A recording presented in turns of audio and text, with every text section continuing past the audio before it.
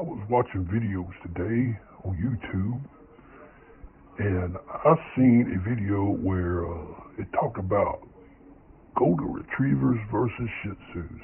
Seen right here. Now, in comparison, we're talking apples and oranges here when it comes to Shih Tzus and golden retrievers. And I, but I didn't mind the video.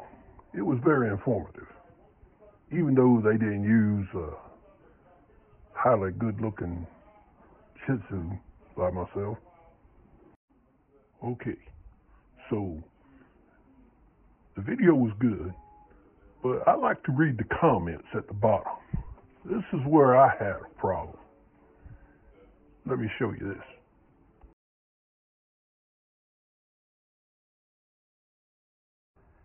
Miss Kimberly if I could come through the screen and, and see you face to face, I'd stick my paw so far up your ass and make your head spin. Dumb breed. Your name should be Karen, not Kimberly. Bitch, please. I bet your birth certificate is an apology letter from a condom factory.